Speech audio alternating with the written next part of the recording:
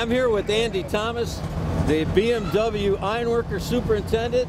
I'd like to have him tell you a little bit about the rigging, the lifting, and the planning of all the module lifts in the ironwork work.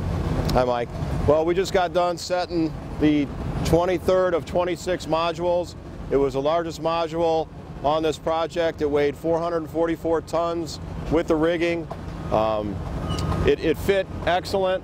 Uh, building the modules out at the docks, the, the planning that went in with engineering, um, civil, structural, piping, electrical uh, was amazing. The fit-ups have been great.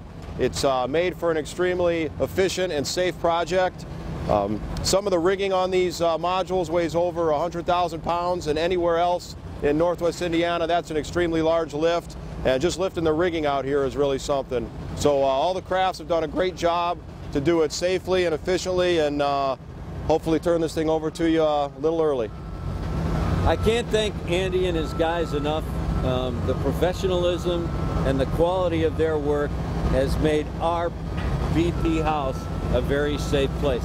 So thanks for all your efforts. Thanks, Mike.